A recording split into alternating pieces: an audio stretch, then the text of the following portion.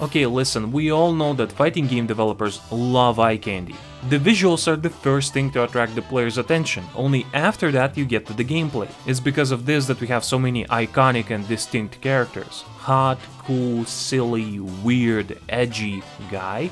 Cute, big, small, you get the idea. These characters were made to grab your eyes and pull them in, while some games take a step further in that direction and make it basically their main thing. I mean the ones that have a pretty big emphasis on fan service. Today we're gonna take a look at some of these games and check out how they achieve this as well as how they play. We're going to start somewhat safe, somewhat mild, and towards the end you'll see some more questionable things. Stuff you might find on the deep end of Steam discovery queues. As always, if you wanna see more fighting game videos, consider dropping a sub.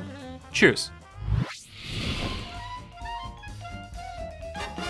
SNK are known for many classic fighting games, but this is not one of them. With SNK Heroines Tag Team Frenzy, they took a shot at a more casual market instead of their core audience. The usual complexities were replaced with a much simplified input method that included no motion inputs, just your basic weak, strong and special attack buttons. This meant that just about anyone could simply pick up the game and become somewhat competent within a few matches. Another oddity about SNK Heroines is that you could only finish opponents with a super attack, kind of like that PlayStation All-Stars game. It all ended up being just a bit too basic to attract fighting game audience. But the game never presented the combat as the main selling point. Instead, they went all in on fan service. As you might expect, the roster is full of the most popular female SNK characters, although you might be surprised that it also included gender-swapped Terry, Yori and Skullomania, which is especially surprising given that it's a guest character from Street Fighter EX. Basic as it is, they even added story mode campaigns for every character pairing, and to this day SNK Heroines might just have one of the best customization systems among fighting games, only losing to titans like Tekken and Soul Calibur.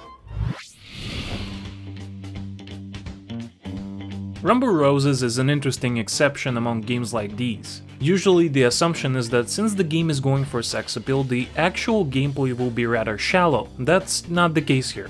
The producer, Akari Uchida, made it obvious that they want to make a solid game for the fans of wrestling, but also make it unapologetically horny. Get hot girls to wrestle on command. Up in the ring down in the mud, it's Rumble Roses, and it plays as good as it looks. Rated M for mature from Konami. To achieve their goal, they chose perhaps the best possible developer, the Japanese company called Yuke's. You might know them as the company behind the many WWE games, including the classics like the SmackDown. They ensure that the wrestling part of the game is not just serviceable, but actually enjoyable. What up? Kill yeah! What was? All that was left was to nail the fan service, and they spared no effort here either. Konami contacted VSL, a company known for their high-quality female character models, to ensure that the visuals hold up under the most perverse scrutiny. Judging by the interview with the producer, they probably would have even added full-on nudity if they could get away with it, but instead they tried to skirt the line with the mud fights, with the mud making characters look more undressed than they actually are. Aside from that, Rumble Roses also decided that each character needs a story mode. The roster is somewhat small with only 11 characters, but each one has two versions. Face versus heel, which is basically evil versus good in wrestling terms, and each version has its own storyline. It's not fantastic, but it's crazy that it even exists.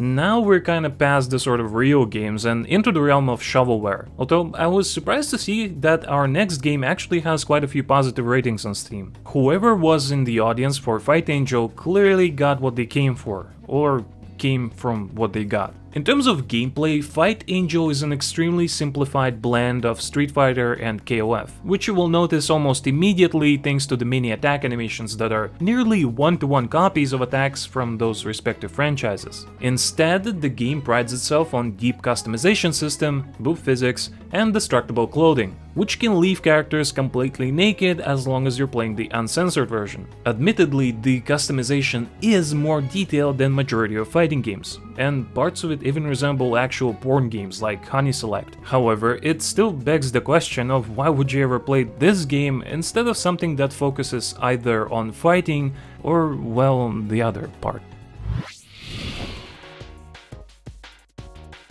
The existence of Nope Nope Nurse's Melee is truly baffling. Just looking at it, it might seem pretty mild in comparison to prior games, but as usual, the devil is in the details. For starters, this is not someone's original title. This is a spin-off from a series of Japanese adult visual novels that heavily revolve around femdom and nurses. And that's exactly what you'll find after beating this game's story mode, at least in the uncensored version. If you're looking for anything else, then turn back now. A single look at the story page should be enough to tell how bad this game is. I mean, this is the first time I see so many disclaimers in the About section. This game is cobbled together in a Fighter Maker program that was released in the year 2000, and for that reason comes with a bunch of issues. Proper full screen doesn't work, controllers are not supported, there is no online, and they couldn't even translate the options menu. You will have to check the manual for that. And as if that's not enough, they openly admit that some backgrounds and music are AI generated. There is something about Street Fighter's far-reaching popularity that just invites spoofs, bootlegs, parodies and copycats of all sorts. As such, our last entry is about one such example, or rather two of them. For some reason, two completely different developers at two different points in time thought it would be a great idea to make an 18 plus fighting game and call it Street Fighter. The original called Street Fighter 2 came out in 1994 and didn't offer anything too crazy. As you might imagine, it's a fairly unremarkable Street Fighter 2 clone with bad controls and low resolution nudity. It's an interesting historical precedent though, as it might be the first erotic fighting game to ever be made but what came after it will make it seem like some classy, family-friendly entertainment. After a considerable amount of time, their mantle was taken up in 2008 by Studio S, an adult game developer from Japan. Unlike its predecessor though, they didn't stop at just making one game. They started with Street Fighter 4 and then found enough success to make several sequels and spin-offs, with the latest one being Street Fighter 6, coming out just a few weeks after the actual Street Fighter 6. While there is a censored version, it's still so explicit that YouTube probably won't be too happy about this one. And things only get worse if you play the full game because Studio S doesn't shy away from indulging some of the more extreme fetishes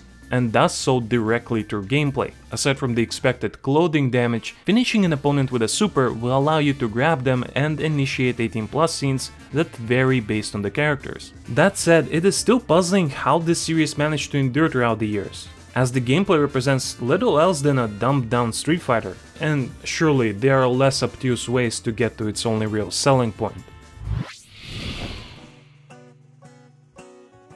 Well, congratulations to the few of you who managed to get to the end of the video. This is not something that we usually cover, but hopefully you found this look at the lesser known side of the genre to be entertaining. You might also enjoy our video about how sexualization works in normal fighting games, or subscribe if you want to see more videos about fighting games in general. Thank you for watching and goodbye.